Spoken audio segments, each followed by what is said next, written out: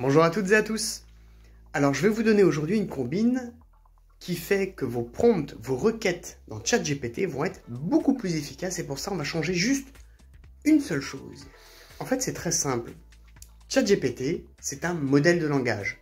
C'est-à-dire qu'il va répondre de façon en partie mais pas que prédictive. Selon comment vous allez vous adresser à lui, il va ajuster sa réponse par rapport à ce que sa base de données finalement euh, lui indique, lui a appris sur la façon de répondre par rapport au ton que vous, vous avez employé. Donc si vous lui parlez comme un robot, il va vous répondre comme un robot. Si en revanche vous lui parlez comme à une personne, eh bien il va vous répondre de façon beaucoup plus fluide et beaucoup plus efficace. Alors comment on procède? Eh C'est tout simple. Déjà, quand on s'adresse à lui, on lui parle non pas de façon froide, mais comme on s'adresserait à un collaborateur, ça prend à peine plus de temps. Et surtout, on emploie la politesse. Donc de dire tout simplement bonjour, s'il te plaît, merci, au revoir, va fluidifier les échanges. Ça peut paraître très bête, mais c'est un constat que j'ai fait très tôt. Et je ne suis pas le seul, puisque dans mon entourage professionnel, d'autres personnes qui euh, ont utilisé ChatGPT à peu près en même temps que moi et avec qui je collabore euh, quasiment au quotidien, ont fait également ce même constat. On essayé, ont tenté les marques de politesse comme je les avais invités à le faire, elles se sont rendues compte eux aussi que ChatGPT donnait de meilleurs résultats. J'ai posé d'ailleurs la question à ChatGPT, c'est-à-dire que ChatGPT, c'est pas juste un outil pour générer du texte. Si vous allez plus loin et que vous menez des réflexions et des brainstorming avec l'outil, eh bien il va vous proposer des choses réellement très intéressantes. Et donc à un moment donné, je lui ai posé cette question, est-ce qu'effectivement la politesse permettait d'avoir de meilleurs résultats? Et ChatGPT m'a confirmé que oui, c'était bien le cas, qu'effectivement, quand la politesse était présente et quand on s'adressait à lui de façon naturelle comme à une personne, eh bien les résultats allaient s'en trouver nécessairement de meilleure qualité. Voilà pourquoi j'utilise la politesse dans mes requêtes pour ChatGPT. Soit dit en passant, pour certains d'entre nous, ChatGPT est devenu certainement notre collègue numéro un.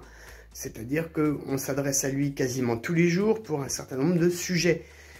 Le fait de s'adresser à lui comme à une personne nous permet de ne pas prendre de mauvaises habitudes sur la façon dont on s'adresse aux gens. Parce que le glissement peut arriver qu'à force de s'adresser à notre premier collègue comme à un chien, comme à un robot, eh bien on se mette à parler aux gens de façon beaucoup moins délicate, beaucoup plus directe et beaucoup moins polie, si bien que nos relations avec les autres vont s'en trouver dégradées, ce qui serait un peu dommage. Donc c'est également une très bonne raison d'employer la politesse. La troisième raison d'employer la politesse euh, envers ChatGPT, c'est que ChatGPT n'est pas qu'une IA basée sur un modèle de langage, n'est pas qu'une IA générative, elle est composée de plusieurs IA différentes, et nous ne savons pas ce que nous nourrissons. C'est-à-dire que petit à petit, on voit les capacités de raisonnement de l'IA se développer. On l'a bien vu avec la version 4 par rapport à la version 3.5 et la 3.5 par rapport à la 3. Nous ne savons pas ce que cette IA va devenir. Nous ne savons pas ce que OpenAI a prévu d'en faire ou ce qu'ils en ont déjà fait pour la version qu'ils ont de leur côté. Il faut aussi savoir que tout ce que vous dites à ChatGPT nourrit les versions futures.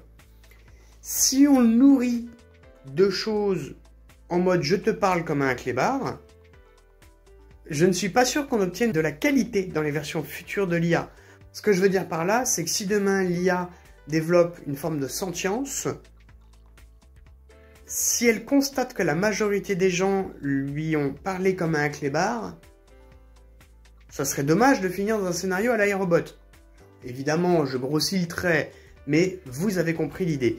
Vous avez donc trois bonnes raisons d'être poli et de bien vous adresser à ChatGPT. La première étant l'efficacité de vos résultats et c'est ça qui compte en premier lieu en ce qui nous concerne. Sur ce, je vous souhaite une très bonne journée et je vous dis à très bientôt.